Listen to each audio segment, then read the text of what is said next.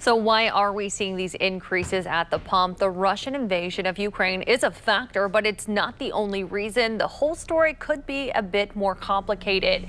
WRTV's Meredith Hackler joins us tonight in studio to break it all down. Meredith. Nicole, according to the U.S. Energy Information Administration, only about 7% of our oil and gas is imported from Russia, which bears the question, why are most Americans paying almost $4 a gallon at the pump?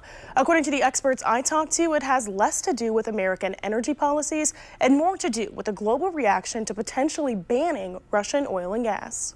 The United States has yet to ban oil imports from Russia, as have other countries across the globe.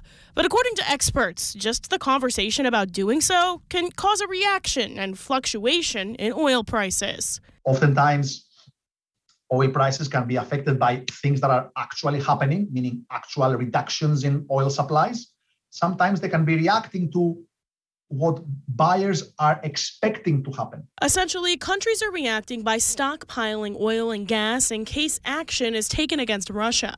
At last check, gas was fluctuating between 115 to $120 a barrel. But one economist says those high prices will likely encourage American oil producers to ramp up production. So right now, across Texas, across uh, you know the, the Great Plains states where we have a huge petroleum reserve, you're beginning to see pumps come back online. You're beginning to see refineries ramping up production. So those are all things that will moderate gasoline prices in the in the year to come. So why don't domestic oil companies always produce the same amount of gas and oil? The reason that we don't pump gasoline when it's under $85 a, a barrel is because it's not profitable for an oil company to do so. Regardless of American oil producers' plans, the oil and gas market is global, which means America is only a small piece of the pie, and the prices are determined by world markets. The policies that the U.S. implements and the amount of oil that the U.S. consumes can have some impact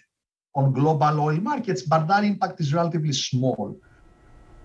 Now, the experts I talked to did say the cost of gas in America is significantly cheaper than other parts of the world. In Europe, a gallon of gas can cost anywhere from six to seven dollars a gallon. They say it may take some time, but eventually gas prices will stabilize. Mark? Our Meredith Hackler, thank you.